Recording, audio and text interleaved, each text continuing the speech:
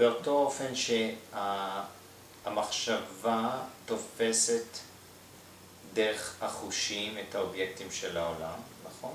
אז יש אני שמתרגם את מה שנתפס דרך חמשת החושים, אז יש אני ויש את האובייקטים.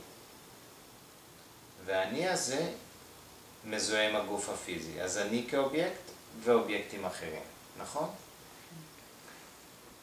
יש שני מצבים של התודעה, המצב אני, I mode, והמצב זה, זה המצב של my mode, אני ושלי, או אני וזה, וזה. למה אתה מפריד ביניהם? זה נראה לי אותו דבר. ברגע שיש איזה תמונה שאני לא יכול להגיד שזה שלי.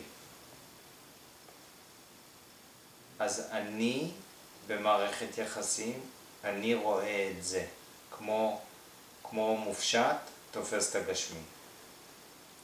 פה זה רק במחשבות. אני מול זה.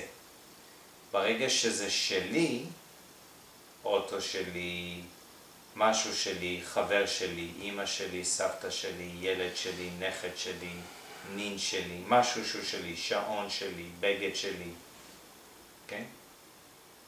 אז זה אני ושלי. רק זה יכול להיות אני מול, אני תופס צבע צהוב.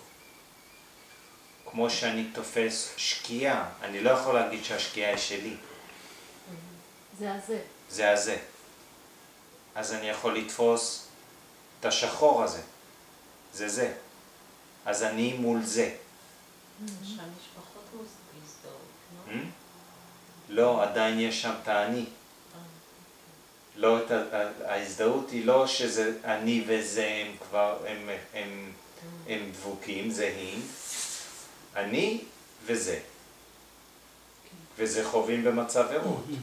אני מזהה עץ, הוא לא שלי. עץ. אז יש שם אני ועץ, נכון? רק במצב אחר, אני אומר אני והכרית שלי. זה כבר, אז זה, אז זה כבר ניכסתי את זה אליי. אבל עדיין שניהם יושבים על אותו דבר. כן, אני, אני, אני זה שתופס את זה שהוא אובייקט. כן. ואז יש לבדוק, אוקיי, יש שם אני שתופס, בואו נראה על, עם מה הוא מזוהה, עם מה הוא מזדהה. נכון? זה היה ברור לי, וזה מרגיש לי כאילו זה אני. אז אם זה אני, בוא נבדוק עם מה האני הזה מזוהה. הרי הוא מזוהה עם גוף פיזי. בוא נראה את זה. ברגע שאני יכול להסתכל על זה, משהו יכול להתגלות לי. מה? כל אחד יש לו למצוא בינו לבין עצמו.